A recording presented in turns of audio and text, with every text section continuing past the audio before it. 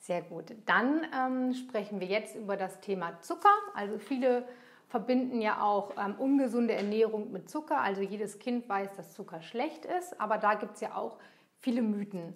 Also es gibt jetzt auch ganz viele Menschen, die Angst vor Früchten zum Beispiel haben, weil sie immer sagen, oh Gott, der ungesunde Fruchtzucker. Ähm, und, oder ich esse keine Kohlenhydrate mehr, weil da ist zu viel Zucker drin.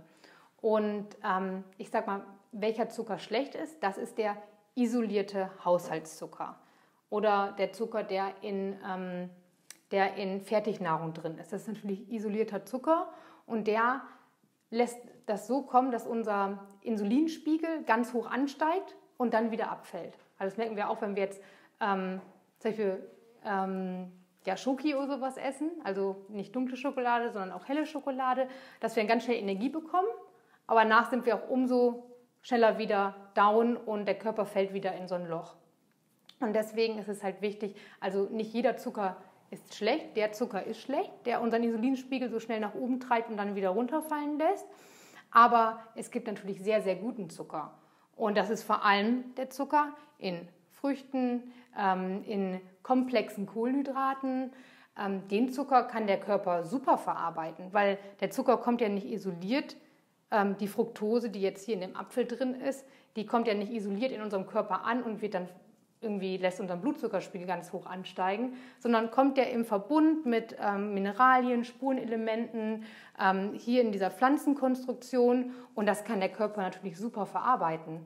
Und die Fructose gibt uns zwar auch Energie, aber auch ist es hier in der komplexen Form, also auch langfristig Energie. Und, ähm, und damit kann unser Körper super umgehen. Also letztendlich Fructose in Form von Früchten ist nicht schlecht für den Körper. Natürlich, wenn man den ganzen Tag nur Früchte isst, was wieder sehr, sehr extrem ist, oder ganz viele Bananen, natürlich kann der Körper nicht damit umgehen. Es geht darum, ein gesundes Gleichgewicht zu bekommen. Okay, also es geht nicht darum, ähm, genau, das kann der Körper auf jeden Fall super verarbeiten und kann damit auch umgehen. Ähm, ja, also in Form von Fructose im natürlichen Verbund kann der Körper super mit umgehen.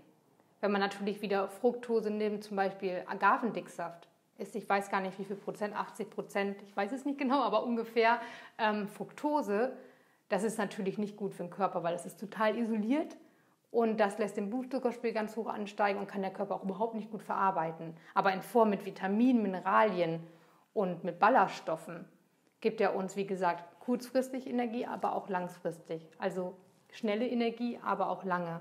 Ach ja, und alle Extreme ähm, nur Obst zu essen ist natürlich ungesund. Und auch wenn man jetzt sagt, ja, ich esse jetzt 20 Bananen am Morgen, ja gut, das ist natürlich, damit kann der Körper nicht umgehen. Und ähm, ist natürlich nicht gesund. Aber es geht um ein gesundes Gleichgewicht und einfach auch die Angst vor Obst zu nehmen. Wenn ich natürlich eine Fructoseintoleranz habe, dann muss man natürlich schauen, dass man die Dinge erstmal weglässt und dann erstmal ähm, seinen Darm heilt und dann schaut, dass man die Dinge wieder zu sich nimmt. Aber wie wir auch vorher schon gelernt haben im Säurebasenhaushalt, ähm, die Dinge sind super basisch und versorgen unseren Körper mit ganz vielen Nährstoffen, mit Basen und mit Mineralien. Und ähm, ja, und das ist auf jeden Fall in dem Verbund ist die Fructose super gesund. Ähm, Genau, und dann auch nochmal Zucker sozusagen in Form von Kohlenhydraten. Dann natürlich auch nicht die isolierten Kohlenhydrate wie Pizza und Co. oder Weißmehl, sondern in komplexer Form, wie jetzt hier zum Beispiel die Hülsenfrüchte, die natürlich auch super viele Ballaststoffe unserem Körper geben ähm, und wirklich komplex sind. Das sind komplette, ja, das sind ja Naturprodukte. Ist ja nicht schlecht für unseren Körper. Das kann der Körper ja super verarbeiten, gibt uns Energie.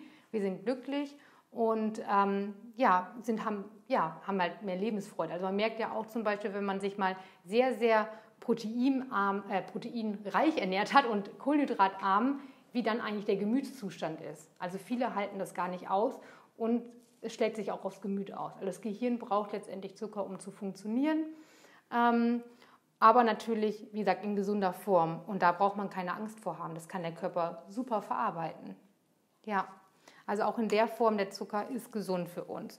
Und der ungesunde Zucker, das ist letztendlich der Industriezucker, also Haushaltszucker, ähm, der kommt isoliert an und ist hoch verarbeitet und lässt unseren Blutzuckerspiegel ganz stark ansteigen und dann rascht es wieder runter. Und er braucht auch ähm, ja, B-Vitamine, um wieder abgebaut zu werden. Also er entzieht unserem Körper sogar Mineralien und wird dann sozusagen verstoffwechselt. Also ist ein absoluter Zucker, ist ein absoluter Nährstoffräuber in Form von isoliertem Zucker, nicht in Form von dem Zucker.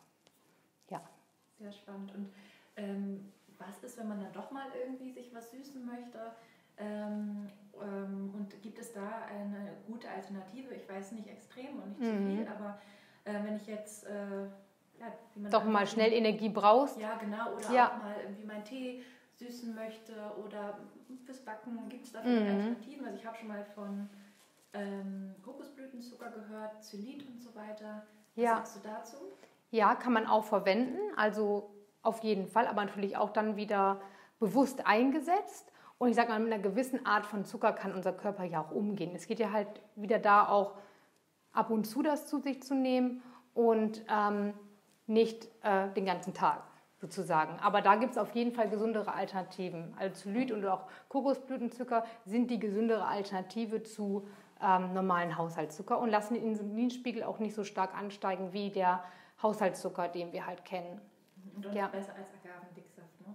Auf jeden Fall, das habe ich gerade schon gesagt. Agavendicksaft ähm, ist natürlich die vegane Alternative zu Honig. Aber Agavendicksaft besteht zu einem sehr, sehr hohen Anteil an Fructose und diese isolierte Fructose können wir sogar noch besser, äh, noch schlechter verstoffwechseln als jetzt den normalen Haushaltszucker. Also das belastet den Körper sehr.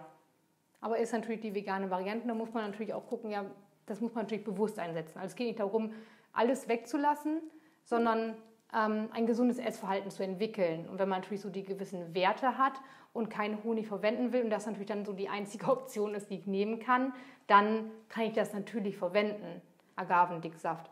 Aber man braucht nicht denken, dass das jetzt eine gesunde Alternative ist, weil ich glaube, das ist so ein bisschen so in unserer Gesellschaft, dass wir jetzt denken, ah ja, Agavendicksaft ist ja total gesund, weil es vegan ist. Aber ähm, nur weil es vegan ist, heißt nicht, dass es gesund ist.